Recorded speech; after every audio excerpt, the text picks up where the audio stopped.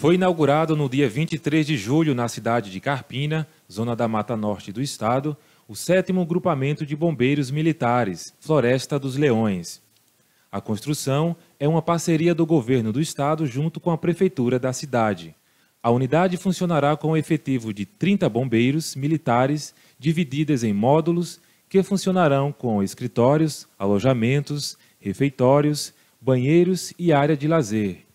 São 30 bombeiros militares sob o comando deste oficial que está em Carpina atendendo a população e mais 18 lá no município de Goiânia. Aqui em Carpina está sediada uma estrutura modelo para todo o país. É o primeiro quartel de container do Brasil.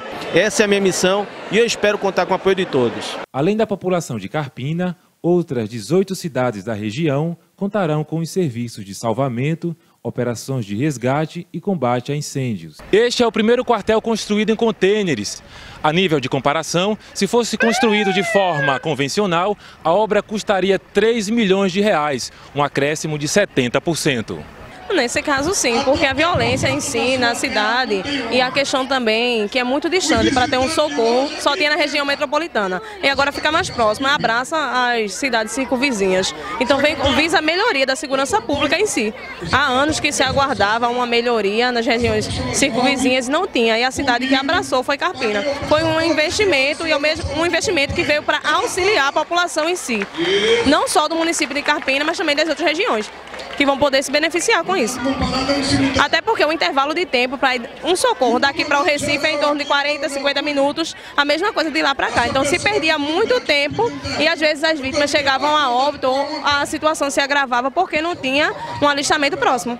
Com tanque de salvamento, duas viaturas, sendo um autobomba e veículo de auto resgate, o batalhão terá capacidade para realizar resgate de vítimas de trauma em via pública, salvamento terrestre, trabalhos de prevenção e combate a incêndios e também serviços técnicos.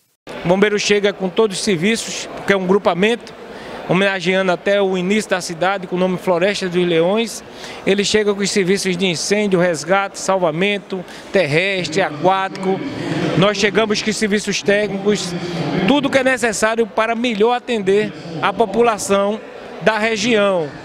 E isso é um planejamento de Estado feito pelo governador junto ao Corpo de Bombeiro, com o objetivo de expandir o bombeiro em 19 municípios é, que necessitam do bombeiro, reduzindo as distâncias e melhor atendendo a população. É motivo de grande alegria por ter ganhado nesse momento aqui a instalação do Corpo de Bombeiro aqui em Carpina. Essa unidade a qual se vem cobrando muito pelos moradores, também pela própria região né, pela dificuldade do acesso e da distância que tinha das unidades de Goiânia, de, de Camaragibe, né, até chegar aqui, muitas vezes né, a casa, o, o comércio, um carro praticamente já destruído, famílias e vidas ceifadas né, praticamente.